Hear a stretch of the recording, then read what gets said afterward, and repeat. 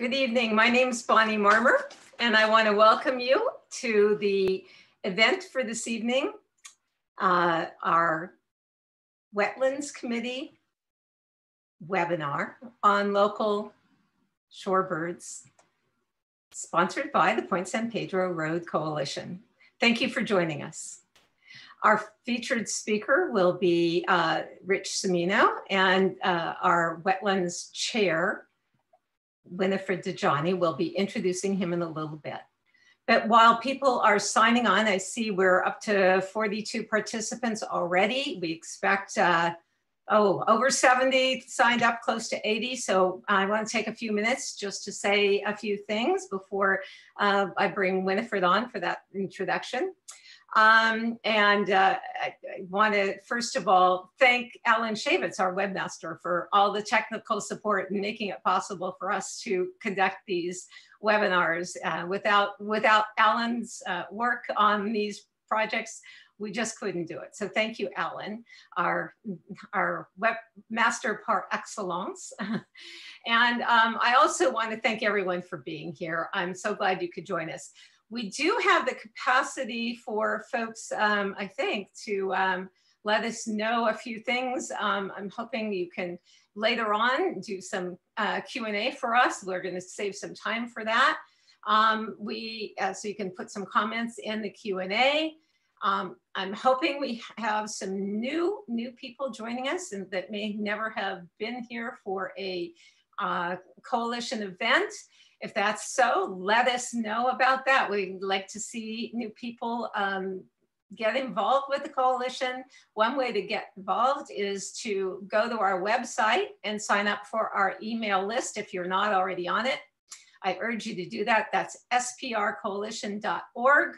Um, and you can get our emails. We promise not to fill up your inbox with frequent emails, but you will uh, enjoy announcements that are of interest to people who live in our community. And um, we will make that relevant and timely and you will learn about our area. This is one way for you to learn about disaster prep, about uh, our uh, issues with the San Rafael rock, rock quarry, the Loch Lomond Marina, um, roadway issues, all kinds of things. Just to go to our website, you can peruse it um, and get our occasional emails. So we'll, we'll keep you up to date on everything about the Point San Pedro Road Peninsula that you could want to know, including our history. Um, there is a whole section there of history you may not know about this area, and I invite you to take a look at that.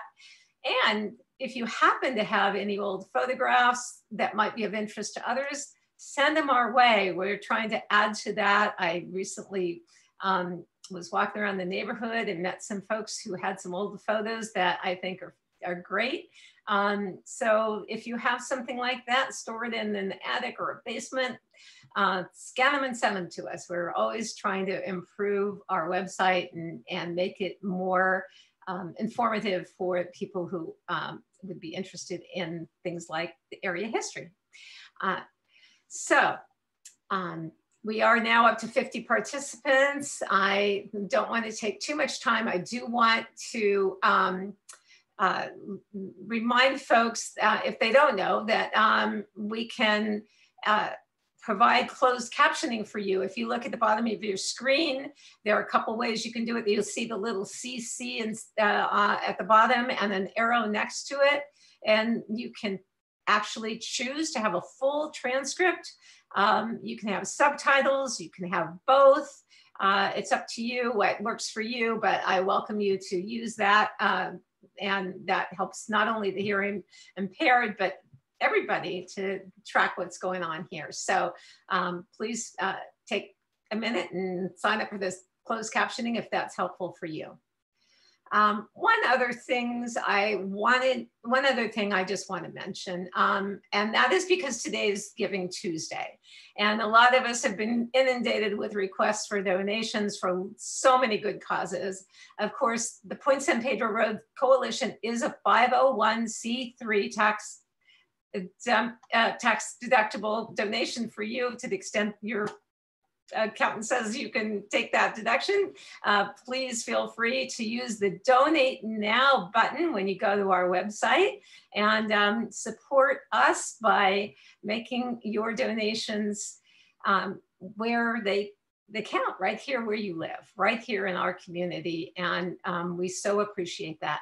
But we also want you to um, uh, know that we want to encourage other donations. Um, certainly Audubon, if you're interested in, in birds, is a great place to send a, a nice donation. And then in these tough times, of course, um, there are the food banks and the Canal Alliance and so many local good causes that um, you probably are aware of, but we want to remind you it is Giving Tuesday and we hope you will be generous if you are able.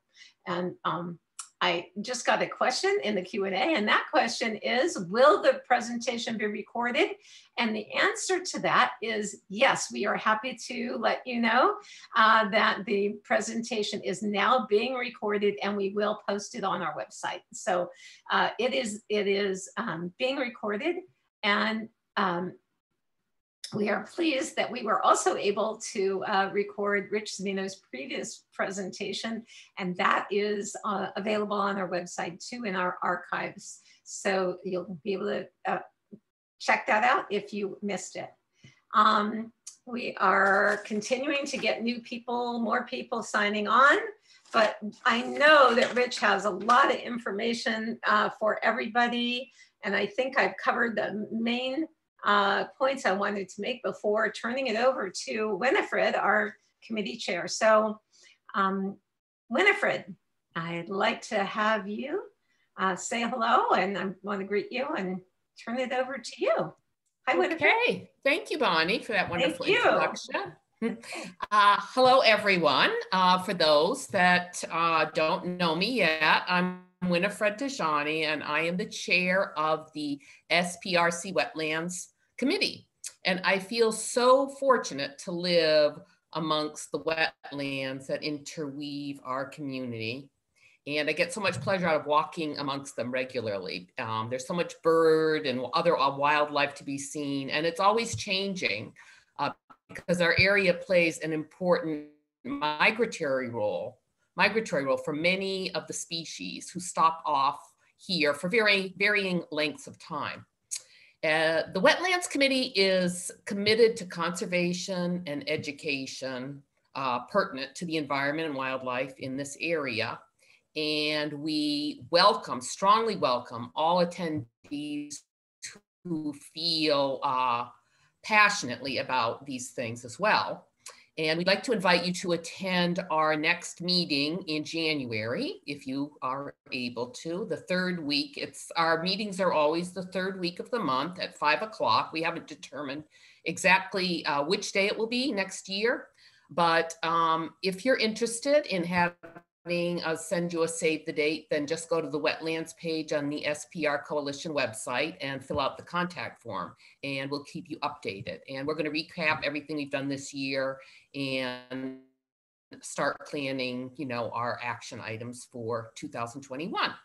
And tonight, as Bonnie already mentioned, we're very excited to welcome Rich Cimino back. He's, by the way, is a member now of the uh, Point San Pedro uh, Wetlands, Coalition Wetlands Committee as well. And he's going to give a presentation about these migratory birds that I was just mentioning. It's specifically about wintering shorebirds. Uh, Rich has been birding in Northern California for 54 years. He gave an amazing presentation this October about the Vaux's swifts who roost yearly in the chimneys of the McNears Brickyard. And if you weren't able to see it live, as Bonnie already mentioned, it's recorded and available for viewing on the website. And Rich is also the leader and manager of an international bird touring company, Yellowbird Tours, where he's been taking people on tours all over the world, birding tours for the past 22 years. So the cool thing about Rich's presentation tonight is it's about the birds in the area right at this moment. So afterwards, you'll be able to go out and see the same birds featured when you're walking around. So without further ado, I'm going to let Rich take the floor. And after this presentation, there will be a Q&A session. So if you have any questions, put them in the Q&A box at the bottom of your screen. And, um, you know, we'll answer them uh, when Rich is finished with his presentation. So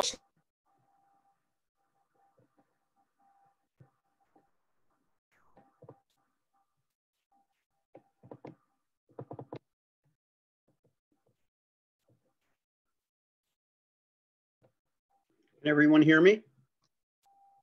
Ellen? Yes, fine. Very good. Excellent. Good evening, everybody. How's everyone doing tonight?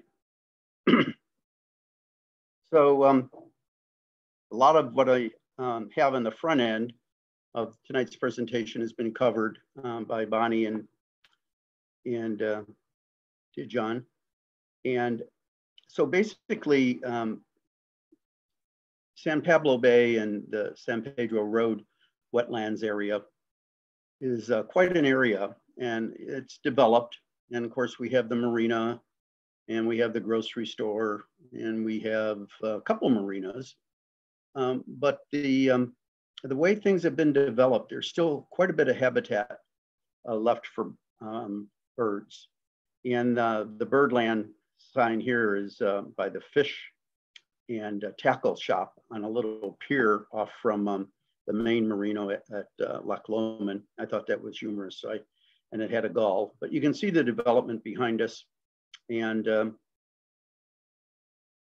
okay, here, are we sharing screen? Hmm. Okay, there we go. Slide two. Uh, so as I just mentioned, both the bay and the wetlands are an important part of migration for many species of birds. Um, despite the, uh, the, amount of development that's taken place, it's, uh, it's still a home and it's still a, an area that's been used for probably tens of thousands of years and just handed down from uh, bird families, whatever their lifespans are, to the next, to the next, to the next. And it, um, it's a wonderful place to bird, a wonderful place to take a walk if you're not a birder. But if you're interested in, in birds, um, try to have a pair of binoculars. And tonight we're gonna cover a pretty good cross section of what you'll see. And um, as you can see, there's about 150 migration routes across North America. And um, with global warming uh, coming on, a lot of these are shifting, uh, both in this time cycle, the timeline that birds arrive, both going north and, and coming south. So that's starting to change as the globe uh, warms and the neotropics um, begin to, um, to get warmer quicker and the birds sense they need to go north uh, to nest. And their uh, nesting cycle typically has been uh, timed uh, for optimal feeding in the various habitats that they occupy for, uh, for breeding. So at the far left here, where my cursor is, um, you can see we're on the Pacific Flyway and the flyway splits right around the Bay Area, probably a little bit more inland, probably a little bit further south. and we have some birds that go north through um, the Sierras and the Cascades and, and follow an inland path into uh, Alberta and British Columbia, et cetera. So um, what's going on with these wintering birds. So as I just mentioned, tens of millions of birds begin arriving in San Francisco and San Pablo Bay uh, in early, early August. Some birds get here actually in very late July. And they come from their nesting uh, season in the Arctic and other remote areas in, uh, in Canada and the uh, Northwest uh, provinces of Canada, all the way up to the Arctic Circle we don't have it here tonight, but if you were to go in the Central Valley, for instance, snow geese and uh, Ross's geese uh, and those types of uh, larger birds, tundra swans, they come all the way from sometimes as far as Hudson Bay and up into the Arctic Circle. So many of these birds arrive in their breeding plumage uh, only to, um, I wish I could get some of these, see what we have to do here to minimize um, a couple photos here. Uh, Al, could you take down yourself and Winifred and Bonnie? Um, you're in my screen here. Okay, I got it. Very good. So, learning here a little as we go. So many birds arrive in their breeding plumage and they phase into their winter plumage after their long flights um, into their wintering grounds, which includes this area that we're, we're also fond of and what is our home. So uh, going off an app by Cornell University, the app is called eBird and um, it's available to everyone. It's at no charge. And uh, if you go into that app, it has a lot of different um, links into different sources of information for overview. And I went in for uh, specifically for Loch Lomond and a few of the wetlands in the area there. And there's up to 150 species that have been recorded in this area by bird watchers that come and um, record their birds either on their cell phones as a mobile app or go home on their desktops and record. So here's another map, another migration map. It's a little bit more detailed, but you can see uh, where my cursor is. So we have that a couple of the Pacific flyways, up to three. And then we have one that comes out of Alberta and further uh, east into Manitoba, Canada. And you'll see these birds coming through here. They may not reach this, um, the actual uh, migration path is here, but birds filter out, as you know, they fly. And the red area is about where we are. It may be a little bit mismarked, so forgive me. But in general area, we do get uh, birds that um, are typically on this flyway that don't reside all winter. So you always want to keep a lookout for something different. And we find these birds in a lot of different habitats. This is uh, the uh, Bayland Trails Park uh, to the west of Andy's Market. And it's a, a tiny park with some really nice uh, coastal oaks. And um, some of the birds you'll find in there will be the golden uh, crowned sparrow, comes from the Sierra Nevadas, the Cascades, all the way up into British Columbia. And you can find them in Anchorage. So they have a really long migration coming down. And then the hermit thrush right here, which also is a, is a mountain breeder and follows just about the same uh, the same migration path as the sparrow. These two birds were photographed um, on September 24th in that time frame in the park. So um, the sparrows and, uh, well, all the birds uh, have a, a little bit of a time clock. They have a timeline when they leave their um, northern nesting areas and start to make their migration south. And it's uh, sort of humorous, but you can expect white-crowned sparrows, not pictured here, and the golden-crowned sparrows to arrive around September 24th with that full moon. So we want to watch your garden for those. Uh, they're a garden bird, they're a ground feeder. And the thrush uh, is a berry feeder. So if you have uh, pyracantha or a toyon bush or anything of that, neat, uh, that type of species of shrubs in your front yard, backyard, you might want to listen for and look for the hermit thrush. So we have a number of uh, different habitats, as, uh, as I mentioned earlier on. We have the offshore islands, which is part of the San Pablo Bay um, uh, National Wildlife Refuge. That's a very important designation. Uh, there's a reason for that. They uh, have studied these two islands and they know that they're prime for nesting and wintering and even summer resident birds. So they've taken them off of public access um, because they are a refuge. And then when you're looking at the islands, you'll be on the uh, breakwater for the marina. And uh, you might see this bird. This is a Forster's tern, and they're a fish eating uh, tern. They dive. Uh, you might see them resting on the rocks, um, but for the most part, they're off fishing and diving. And um, they're a colorful bird. You can see that orange bill with black tip, that beautiful black head, long wings, and uh, they have a cousin that's here, and it's the elegant tern. And the elegant tern uh, is not a year-round resident.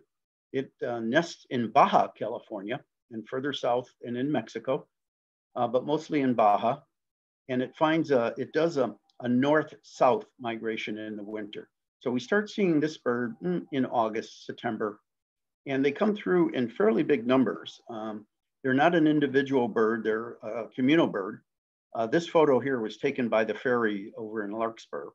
And that day, I think I had 250 but there's been reports of these birds in Marin County, closer to the coast, like Bolinas um, Lagoon, where they've had up to 5,000 in one day. So it's quite a quite a scene. And I'll go back, and they they're a fishing bird, just like the Forster's tern. Uh, Forster's you find in small groups, four, five, six, seven, eight, nine, uh, possibly family groups. And once again, the elegant tern, our summer visitor who does a reverse migration, he comes north in the summer and excuse me, in his fall in the winter instead of going south. And here's a, a larger grouping of those birds. So you should look for those. We may have those in the wetlands and certainly off of um, the Loch Lomond Marina rock ends there out towards the islands. And then we have um, snowy egrets. They have a nesting colony on the San Pablo Bay Island, uh, the National Wildlife Refuge. So we have quite a few of them in the area. Um, we also have a lot of uh, great egrets. They nest over in Ben Lomond, excuse me, in uh, Keys. And here's the black-necked stilt. It's a wading bird, long bill, feeds in the mud on crustaceans. And uh, this bird here is mostly a intermountain bird um, in the Great Basin area, Sierra Nevadas and east into Montana and Idaho and Wyoming, uh, Utah, uh, wherever there's wetlands in Nevada, you'll find them as a nesting species. And they do a typical east-west migration in the winter. Uh, they start arriving again in August with their uh, juvenile birds, or what we call HY uh, or hatch-year birds. So they spend mm, probably eight months in the Bay Area and do a migration in the West for nesting in various wetlands in the states that I mentioned. And this bird here is a, a greater yellow legs. And um, you may find very small numbers of them in the uh, wetlands of the Sierra Nevada or Cascades, but you really find them further north um, in Alaska, um, all the way up into Nome and into those uh, uh, regions there and inland into British Columbia. They're further north migrant. And they do the same thing. They, uh, they start to come down in uh, end of June, early July when their nesting season's over. And they'll stay here till March, maybe middle April, and then they take off again to go north uh, for a, a, nesting cycle that, as I just mentioned, is, um, is over by July and they start coming south for the winter. So an interesting uh, set of birds there. So here's an interesting photo. Uh, on Wednesday, November 24th at 4 p.m., an American bald eagle flew out of the uh, San Pablo Bay Islands and flew over San Pedro wetlands over by McNear um, uh, Brick Factory. And I was able to catch a photo. So we have at least two pairs of uh, American bald eagles nesting in the Bay Area. Uh, two years ago, we had a pair that were nesting um, near Olompali State Park in Novato off of Highway 101. Uh, they did not nest this last year, uh, 2019, 2020, but they were in the area. And then there's another uh, pair further down in the peninsula, uh, more towards San Francisco Bay.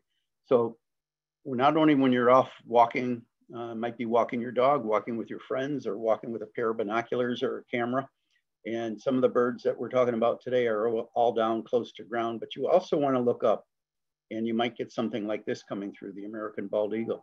And we, they're in the area. Uh, I've also seen them over by the uh, Marin Rod and Gun Club over off the, um, near the bridge from um, the property of the Rod and Gun Club. I've seen them fly by uh, on several occasions. So I sort of always keep my eye open for them. I know they're in the area. So San Pablo Marina near the Bay Islands uh, uh, National Wildlife Refuge. This is a scene off of um, um, the breakwater behind Andy's Market there. And it gives you a look at the habitat. There's a lot of things going on here. There's a lot of open bay water. There's the islands. There's a breakwater. There's a lot of uh, wooden um, uh, posts that were put in for either uh, flood control or managing tides or tie up for boats. And then a lot of concrete waste was added uh, to shop, stop erosion. And birds like all of this. Um, as I mentioned in the very beginning, the area that we're focused on where we live here in, uh, the uh, San Pedro Road area is developed, but um, plenty of habitat for the birds to uh, continue to make home here. So uh, see if I'm gonna drag this puppy down here. Yeah. So typical summer scene in the marina is the brown pelican, also a nester in um, Baja California, Sea Cortez and further south along the coast. And they do a, a north-south migration in the uh, late summer. And um, we get a lot of juveniles and quite a few of the adults. And there's a um, National Audubon Society is conducting surveys and attempting to get a handle on the populations because they've um, been witnessing a um, reduction in um, the birth rate in Baja again. And uh, many of us, if you're in from the 60s, if you will, 50s, 60s, 70s, you'll remember the, the DDT uh, issue we had in both the osprey and the pelicans, absorbing it into their digestive tract and the females uh, laying eggs with um, very thin shells because of the pesticides. So there's some concern that some of these pesticides um, are not um, regulated in some of these uh, areas where the birds nest. And brown pelican is on a watch list. They're not endangered, but we've had a few years of reduced um, birth rate. And uh, so there's a concern. The other bird that we get a lot of, and he's here all year, and that is our Western uh, gull. And he's a big gull, and he has a real slate back. His uh, primary wings and his back is a slate gray.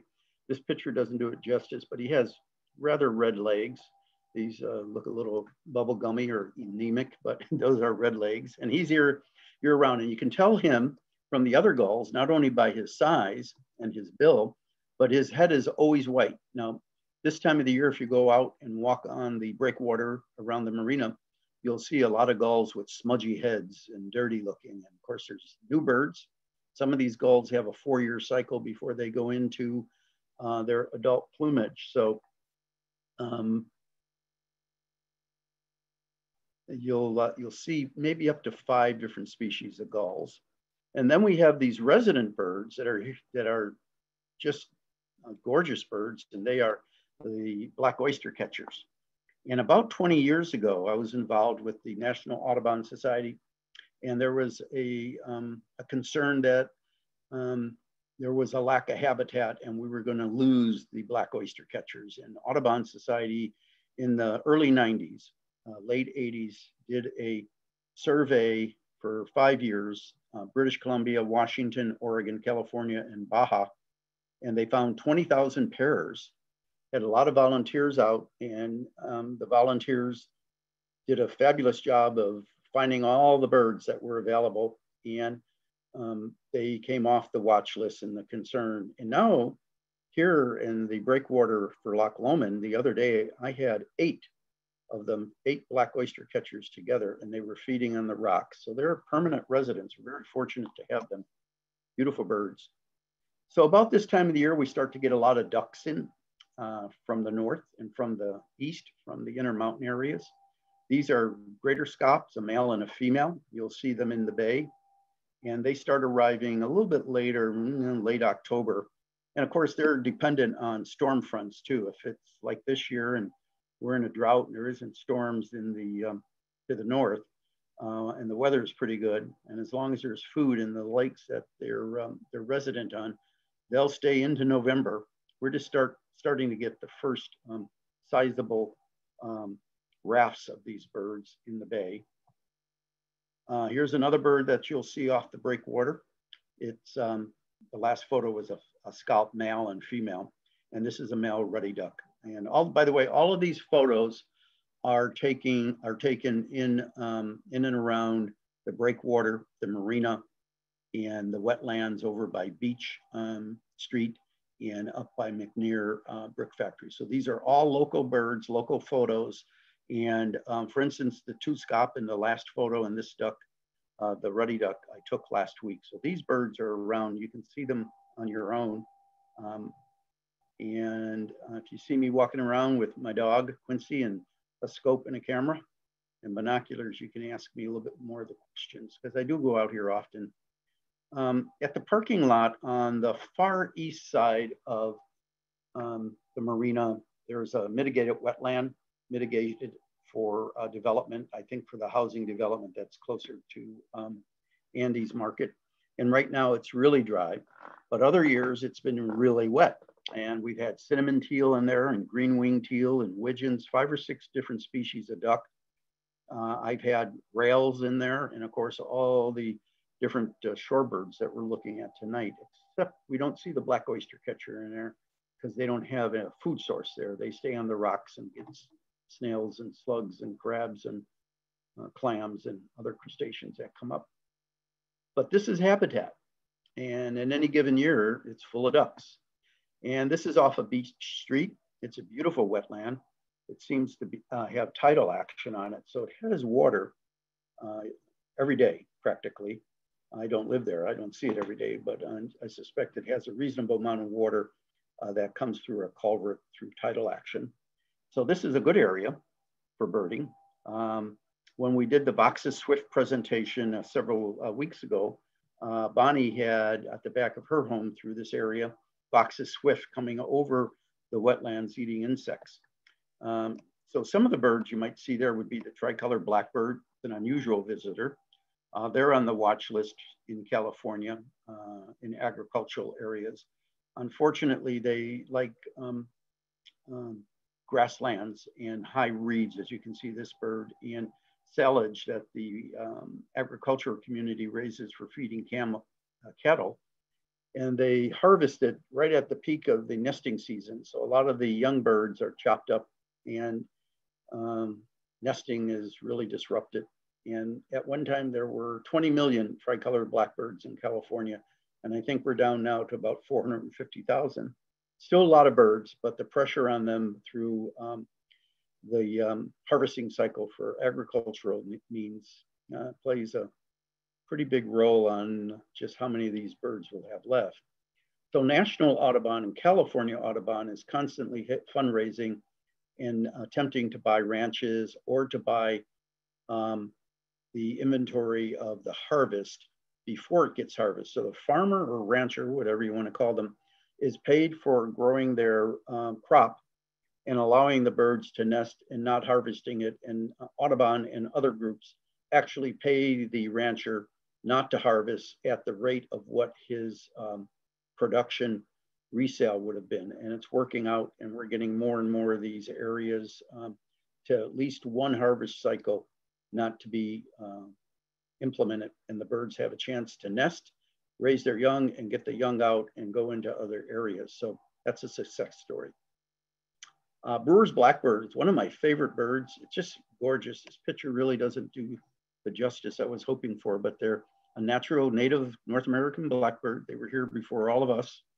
And um, they like people. Well, I, when I have out of town visitors and they want to see one, I typically take them to Safeway parking lot, um, Trader Joe's, or uh, United or one of those. They're always in a parking lot, but they are a native bird, and we do find them in uh, in natural areas also, and they flock. They're a typical blackbird. You know, uh, I was up in Yolo County just a week ago, and we had flocks of five and ten thousand of them for the winter.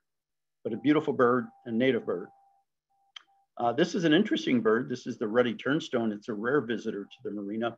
His cousins, uh, the black turnstones, um, frequent the, the marina, often on the rocks with the black turnstones and the pelicans and the willets and all the other um, shorebirds.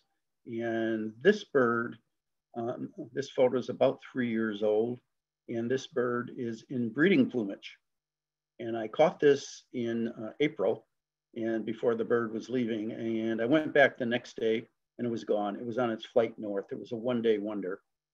And that's the ruddy turnstone. And we should look for that bird We're obviously on their, their flight pattern, or at least this one in particular. Uh, the willet, willet's a favorite bird. It's a large bird. It has the body the size of a gull, if you will. It's long-legged. Um, when it flies, it has black wing panels. I don't have this in flight, unfortunately, but you'll see it.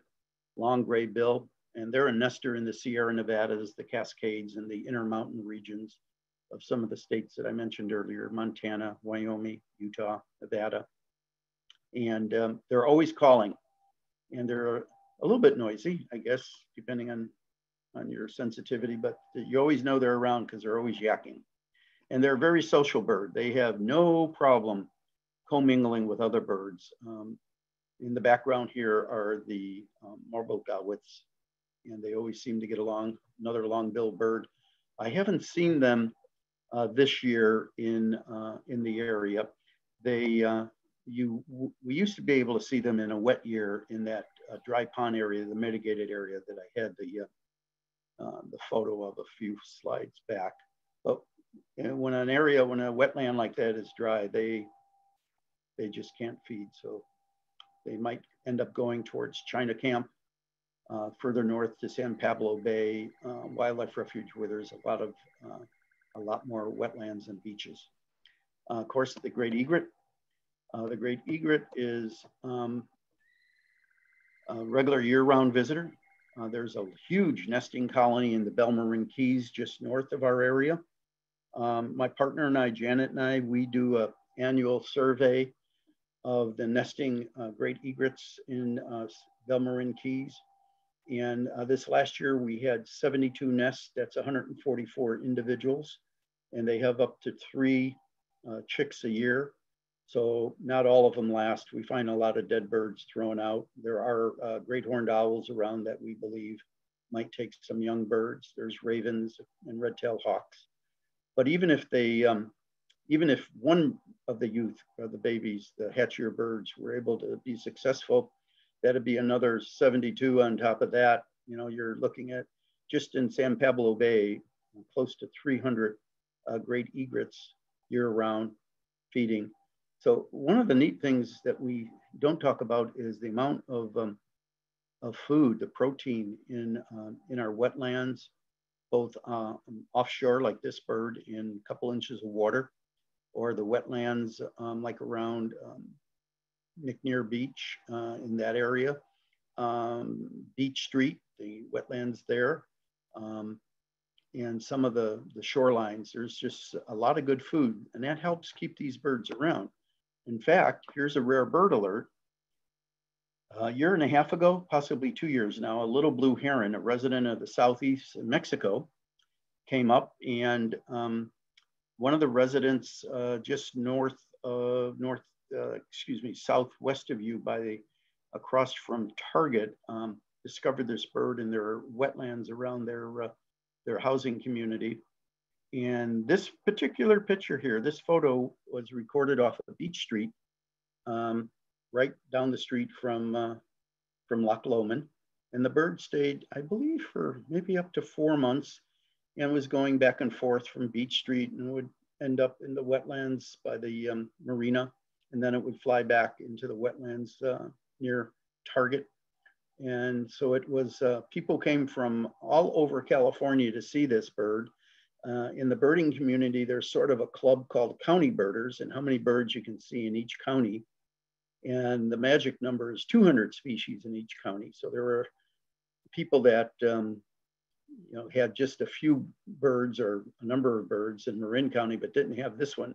So they traveled all the way to Marin County to see this bird, take their photos. Um, hopefully they spent a little money and helped our economy and got another bird for their county list. So we do attract um, rare birds. We had, I showed the picture of the uh, ruddy turnstone. We could consider that rare and certainly um, this little blue heron from the southeast. Okay, so pickleweed marshes subject to tidal action. This is taken um, to the north of McNear, McNear uh, Brickyard and it's subject to tidal action. And um, it's a good spot for um, rails. And um, this picture is about a year old, this photo. And uh, you can see it was after a storm and we had uh, a wet area with the pickleweed and we had a sora rail. So soras are part of the chicken family. And um, gallinas is the Spanish word for chicken. I may not have that 100% correct, but it's pretty, pretty close. If I'm wrong, someone correct me. So Las Gallinas marshes um, have a number of different types of rails. We have the um, endangered uh, Ridgway rail, which used, which used to be the Clapper rail and has been renamed. Uh, we have the Virginia rail and we have the Sora rail. And there's potential there for the little black rail. It's a little bit larger than a sparrow. Um, so we have quite a few rails in our area. We have up to four species. And if you look real hard, um, you might see them just walking around. They're fairly comfortable with humans and they, um, they chatter a lot. You'll hear them before you see them. And um, the Spanish um, and the early Mexican uh, residents of Marin County uh, would just go collect them and they would be uh, used for dinner because they're part of the chicken family, the Las Gallinas Creek and Las Gallinas wetlands to our north. I know it's not part of the San Pablo Bay uh, or San Pedro Road Coalition, but we do get them also. Okay, so mudflats. We talked about nutrition and food and a reason why we attract so many different bird species and we keep them through uh, their migration cycle is because we have a very rich area. Um, uh, citizens groups, volunteer groups, such as the uh, Wetlands Committee that we had that we're presenting for tonight, do so much to identify these areas to our government representatives and keep them pristine and keep them open and keep them out of development and make them available for these birds that, that share their life cycle with us. You know, this is our home as human beings and it's their home as mammals and birds and, and other creatures. And, uh, you know, we all have to have that mutual respect. And uh, this is the wetlands uh, that's adjacent to Beach Road. It's to the west of Beach Road and it feeds into the Beach uh, Street wetlands photo that I had um, a few slides back through a culvert through tidal action. And this is a good spot to look for um, sandpipers and plovers. If you go on low tide, uh, you're gonna see this little uh, peep. Some people call them peep, peeps, other people just sandpipers, but they're part of a family of small sandpipers. This is a least sandpiper.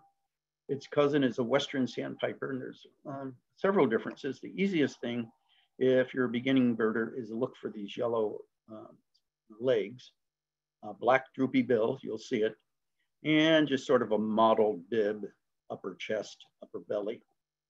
And that's a least sandpiper, and you find them generally like this, just pecking around in the mud and getting all sorts of biomass that they feed on this sludgy stuff that gets turned around with tidal action. And this, is here's six, but you might see 600 at one time and that's not an exaggeration. You might see 6,000. Uh, Point Blue, which used to be Point Reyes um, Bird Observatory, does annual spring and winter and spring counts on these birds. And we have 50 to 60,000 of them in the Bay Area. That's all the way down to Alviso in Santa Clara County and all the way up into Napa, into the Napa wetlands, the least sandpipers. Here's a Western sandpiper. Um, this photo is taken in Alaska it's in breeding plumage. And, um, but I added it just so you would have an idea of the difference in the birds. First off, if you're a beginner birder and you're looking is the black legs, okay? But it also has a black bill with a little droop at the tip, a little bit wider, a little bit bigger. And look at all the chestnut the breeding plumage. And then all these chevrons, this is very key. If you go back to the uh, least sandpiper, they have that bib in all white. So there's some differences. So as, as you begin to bird, you begin to take notice of all these different plumages and different ways of identifying birds. So uh, Western sandpipers, for whatever the reason, seem to uh, tend to go into our East Bay shoreline and uh, we get more of the least sandpipers. And here's a beautiful family of black-bellied uh, plover and black turnstones. Here's the black belly plovers. Got one, two, and three, four, and five. And then we have uh, four black um, turnstones. Just beautiful birds. And they're on the very, very tip of the um, breakwater uh, for the Loch Lomond Marina. Just gorgeous birds. And um, so you want to look for them. And they're easy to identify if you're a beginning birder or if you're getting interested in birding. They're easy to identify. I might add here that if you are interested in birding, you might want to start a list of birds early on. And um, because as, as you get further into birding, you're going to start saying, oh, I saw that bird before, but I don't know where. And it doesn't hurt to start a list early on. So here is a black-bellied plover and a black turnstone. So um, these are fall plumages birds. This bird has come all the way from, I'm just gonna exaggerate and say probably um, somewhere in Alaska. Let's pretend it came from Homer, Homer, Alaska, where it nested and uh, made its uh, migratory flight all the way down to San Pablo Bay. and it's in its fall plumage. And um, I think here it is in its breeding plumage. So you can see the exaggerated um, molt that they go through. So that's breeding. And, uh, you know, we're all familiar with the male birds are always really bossed out and super cool and and attracting males, uh, females, excuse me. And this is what they look like in the fall when they go through one of their breeding cycles. And the same for the um, uh, black-bellied plover. Uh, he is much blacker, slate black, uh, like in the last photo that I showed during his breeding plumage. Uh, this fall bird, you see, he starts to get molted out. Uh, you can tell his feathers are worn, probably from a long migration. You can see some of these feather tips are fresh. You see some of these new feathers coming out. So part of the um, reason for the molt on these long distance migrants is um, with the sun and the wearing and they go through a mating season and deprive themselves of a lot of their uh, nutrition and their minerals and vitamins uh, to keep their feathers in good shape. And then after a long migration, uh, those feathers are really burnt out and they go through the uh, post-migration um, uh, molt here in the Bay Area and start to get new feathers and get ready for the, the flight north in several months. So this bird is pretty thin if, uh, if there are experienced birders out there, they've seen the uh, adults in the breeding plumage and they get much bigger and they get all fattened up from all the nutrients they're getting out of the mud flats, all the crustaceans and biomass and biofilm that they feed on. They get big and um, their organs get larger as they get ready for migration and they put on a lot of body fat to prepare themselves uh, for these long flights. And some uh, species of birds, um, even shut down the muscles in their wings while they're putting on fat. And they don't fly a lot. They just sort of peck around and put on fat. And then whatever timetable they're on, whatever keys them in, they begin to build muscle in their flight wings so they can prepare themselves for these long migrations. And it's um, quite a cycle. Uh, here's a beautiful juvenile. This is what we call a hatch year black-bellied plover. And I caught this bird in September uh, of this year. And this photo was taken from uh, the breakwater again. Just a beautiful bird. Now, look at all these beautiful little feathers. Look at the tips. And you can see some of these are worn already. So this bird, I don't know where it was born, but it was pretty far north and it had to fly its way all the way down. So it's gonna eventually look like that bird and that bird. And that's what the molt cycles do, do but it is a gorgeous bird. Um, we also get long-billed dowitchers in the winter, wintering plumage. This is a, a bird in the Beach Street Marsh again. That's a good spot to go bird watching. And it's got that nice little road around without a lot of traffic. And um, this bird is in a molt also, as you can see. This is more the breeding plumage. And this is a fall picture or photo, excuse me. And um, this bird has arrived from, once again, the Intermountain regions. Most of our birds here on this uh, presentation are breeders in Idaho and Sierra Nevadas and Cascades and Wyoming. Maybe some of these birds might get into the Dakotas, Eastern Colorado, um, New Mexico, Northern New Mexico. And um, so some, they have these long, long migration flights. You know, and once they get here, they start to go through these molts. Look at these beautiful feathers. Um, here's a pair. This is a, uh, a uh, spring photo, and you can see the uh, breeding plumage is starting to come in slowly. All these um, barred feathers, and both in the flanks and in the tails. And you get more of the variegated variegation into the primary feathers for their wings and into the scapulars and around the nape. And so feathering is a big part of birding. You really get into some of these birds with their feathers. So we're um, almost done here and um, we are done. So I'd like to thank everyone for attending tonight. And I'd like to ask everyone if you have time to go to the Yellow Bill Tours website for field trips and local birding classes uh, that I do uh, here locally in your favorite uh, local park or in your backyard or front yard or down at the marina. And then Yellow Bill Tours has got some trips planned for Belize. Belize is now open, COVID-19 restrictions, but um, the American Airlines United, Southwest, and all are flying there again in New Mexico in April. Hopefully, we'll have a vaccine by then, and and we'll feel a little bit more liberal in our in our traveling.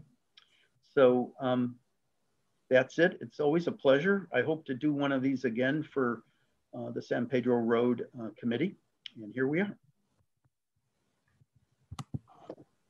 I'm complete. Well, thank you, Rich. That that was really fascinating. All these this bird, these these migrations and trajectories that you know most of us aren't even aware of. And it's particularly interesting about the black belly plover because I've seen them transform.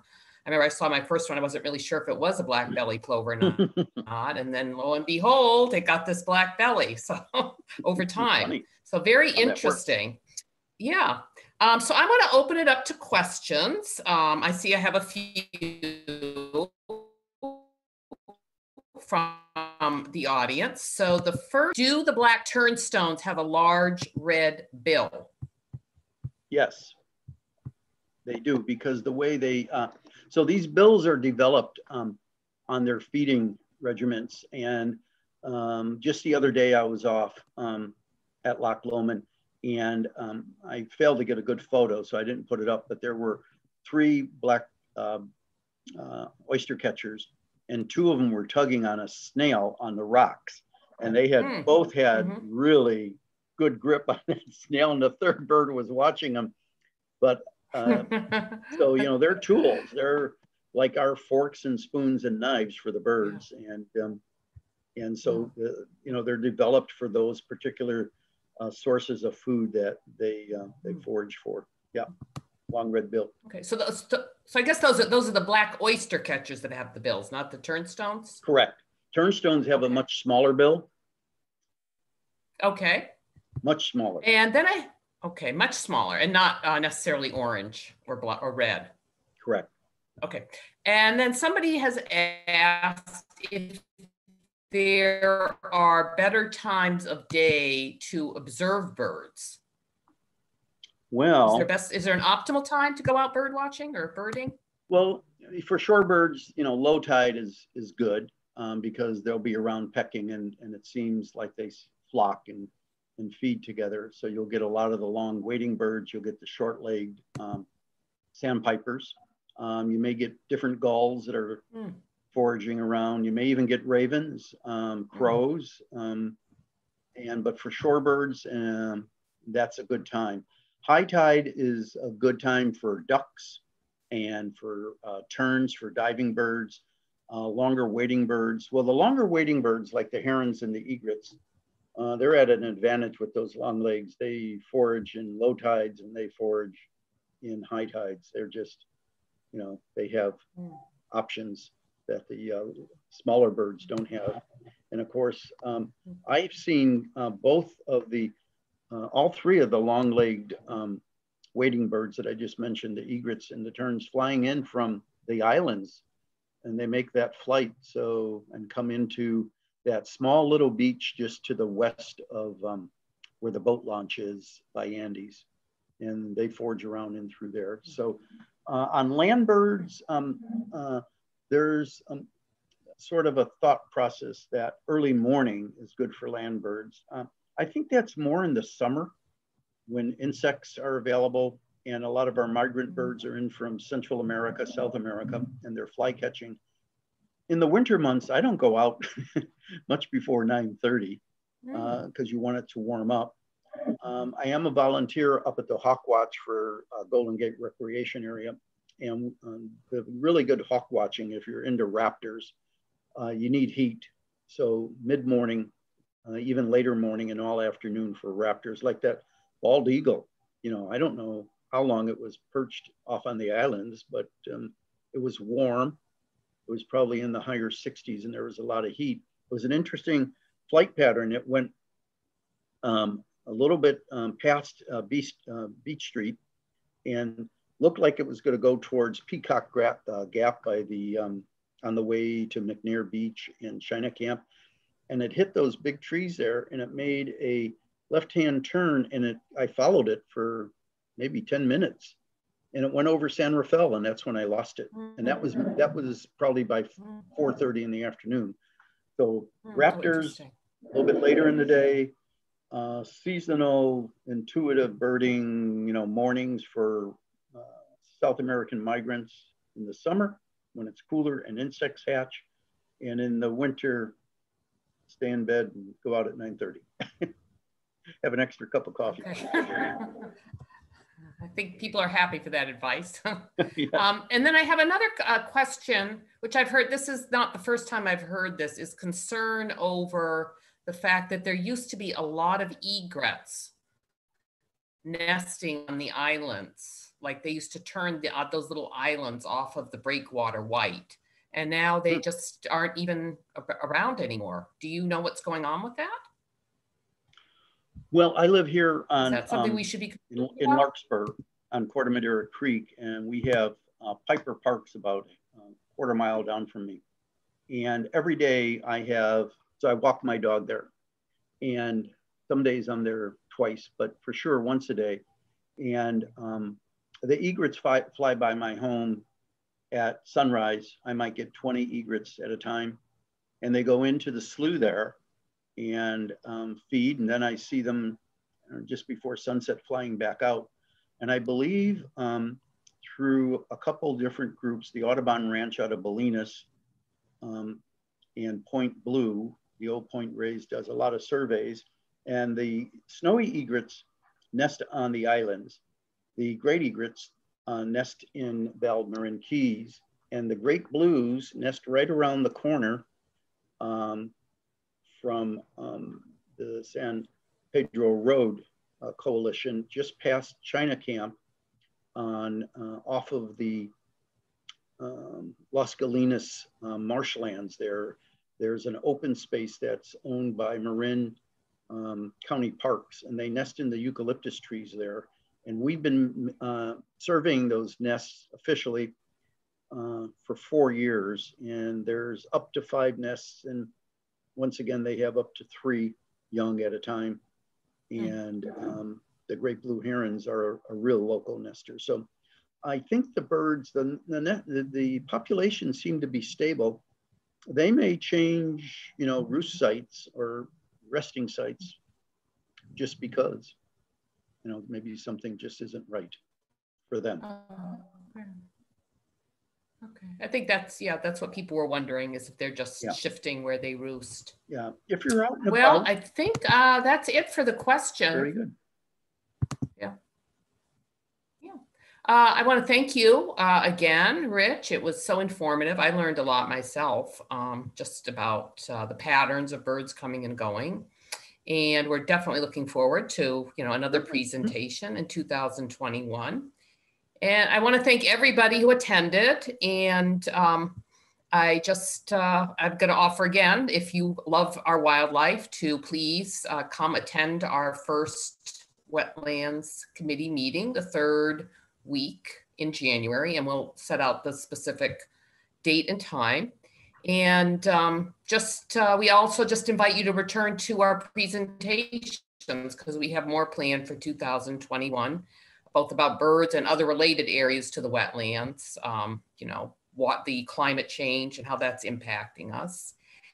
And uh, I want to wish everybody a very happy holiday, a safe holiday with your loved ones holiday season and stay safe. And um, again, our warm wishes to you from the Point San Pedro Road Coalition.